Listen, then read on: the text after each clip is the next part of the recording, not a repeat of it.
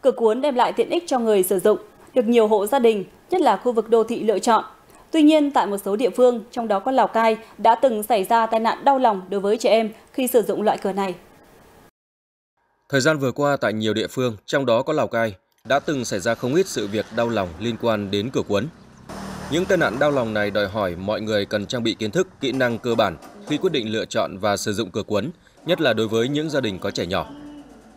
Ờ, trong lúc mà đóng hay mở cửa thì cũng cần nhà có trẻ con thì tôi cũng cho cháu nó ra khỏi nhà đã rồi thì mới đóng.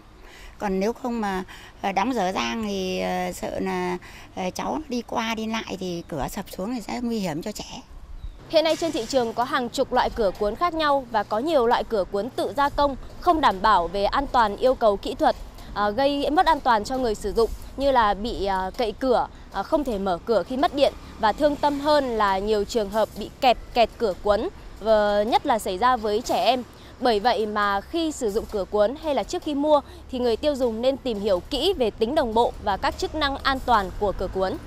Những cái nhà đầu tư bây giờ người ta có vốn thì người ta đi đặt một số cái nhà sản xuất người ta à, sản xuất ra cái nam sẵn xong họ đi sơn và họ sẽ lại tự gắn mác của mình vào để à, làm sản phẩm của mình.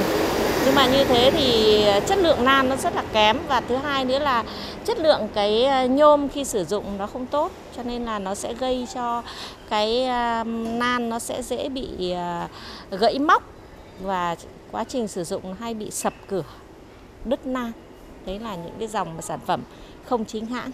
À, với người tiêu dùng sử dụng cửa cuốn thì bây giờ uh, trước hết là mình nên sử dụng những cái uh, uh, sản phẩm cửa của những uh, công ty có thương hiệu về mặt chất lượng. Nên uh, dùng cửa có tính năng đảo chiều hoặc là tính năng tạm dừng để coi như là đảm bảo an toàn cho người sử dụng cập nhật những công nghệ mới sử dụng đúng cách an toàn, đặc biệt chú ý đến công tác bảo trì bảo dưỡng, đồng thời quản lý trẻ nhỏ khi đóng mở cửa sẽ tránh được những rủi ro đáng tiếc tiềm ẩn từ những chiếc cửa cuốn.